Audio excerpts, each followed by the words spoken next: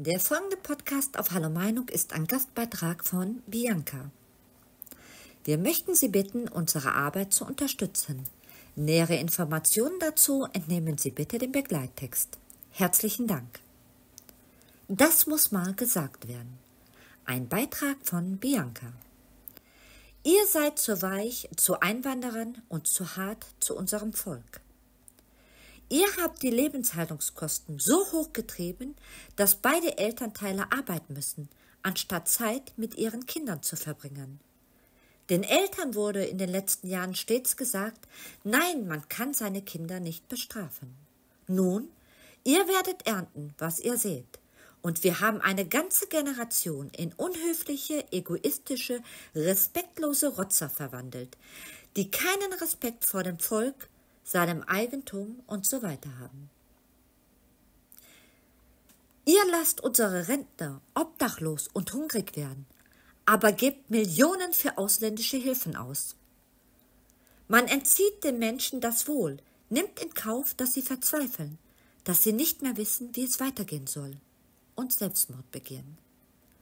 Man beugt sich nach hinten, um politisch korrekt zu sein zu viel Angst, um zu sagen, genug ist genug. Ihr beschreibt die Realität mit Lügen. Harte Arbeit wird mit gigantischen Steuern belohnt. Klima ist das meistgenutzte Wort, um uns einzuschränken, uns das Geld aus den Taschen zu ziehen und uns zu zwingen, unsere Lebensweise an ihre Standards anzupassen.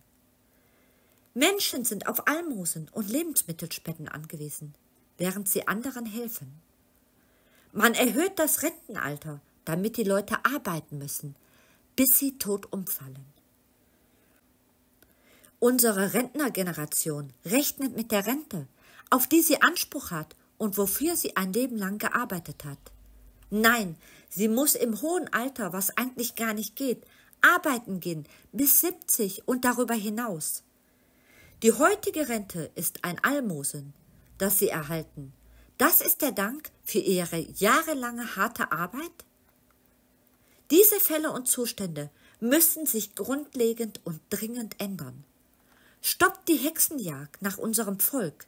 Gebt Hilfe und Unterstützung für alle Steuerzahler, damit Deutschland für den normalen, einfachen Bürger wieder lebenswert und sicher wird, so wie es einmal war. Ein Beitrag von Bianca. Wir danken Ihnen fürs Zuhören, fürs Teilen unserer Beiträge und für Ihre Unterstützung. Herzlichen Dank.